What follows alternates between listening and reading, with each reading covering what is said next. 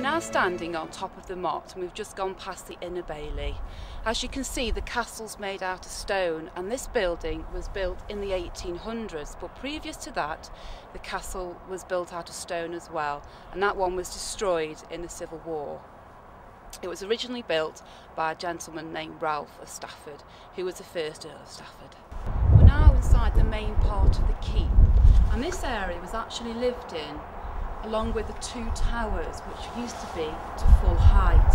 As you can see we have Gothic style windows with tracery around the edges. There's also arched shaped doorways as well. The arrow slits were used by the archers to give them a good view from outside, but a skilled archer can easily put through arrows into the castle, so you have to be very careful. We're now at the bottom end of the keep, and as you can see, it's completely open to the elements. And we've also have the main part of the keep. Originally, that would have been a large hall where people would have entertained.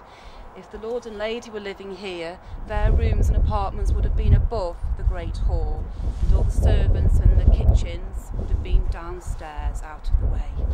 As you can see, in the middle of the keep, we've got this great big fireplace with a stone lintel across, and on the lintel you can actually see the Stafford Knot emblem, which belongs to the Stafford family.